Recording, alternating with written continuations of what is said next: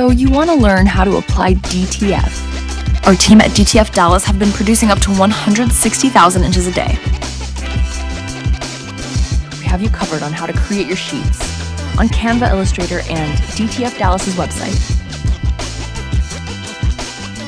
Follow along as we help you learn all things DTF. Welcome to our tutorial. Today, I'll show you how to prepare your gang sheet on Canva. Let's get started. First, log into your Canva account and click on Create a Design. Choose Custom Size and set the dimensions to 22 inches by 80 inches. This is the maximum size for a Canva gang sheet. Once your blank canvas is ready, you can start adding your designs. Click on Uploads to add your own images or use Canva's elements and text to create your designs. Arrange your designs on the canvas. Make sure to leave a little space between each design to make cutting easier later.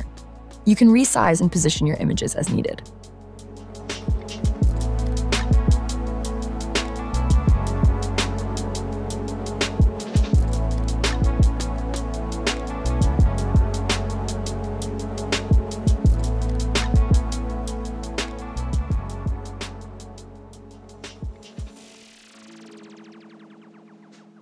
When you're happy with the arrangement, it's time to download your gang sheet. Click on the Share button in the top right corner, then select Download. Choose PNG as the file type and make sure to check the transparent background option. Use the sizing slider to raise this to the maximum size. Click Download, and your gang sheet will be saved to your computer. Now it's ready to be printed and transferred onto your chosen items. And that's it. You've successfully prepared your gang sheet on Canva. We hope you found this tutorial helpful. Don't forget to like, share, and subscribe for more tips and tricks. If you need any assistance, check out our services at DTF Dallas.